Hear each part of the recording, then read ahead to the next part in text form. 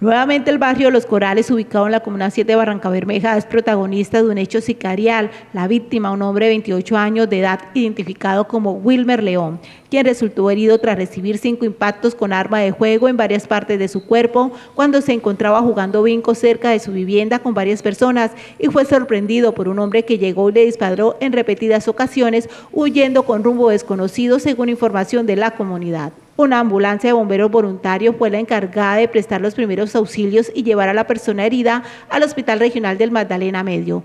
De acuerdo al reporte que ha entregado extraoficialmente el cuerpo médico del centro asistencial, su estado de salud es crítico. Las autoridades hicieron presencia en el lugar para adelantar las investigaciones correspondientes para dar con el paradero de los responsables de este nuevo hecho de sangre que se presenta en este sector de la Comuna 7. Igualmente se está a la espera del pronunciamiento del Departamento de Policía del Magdalena Medio frente a lo sucedido en el barrio Los Corales.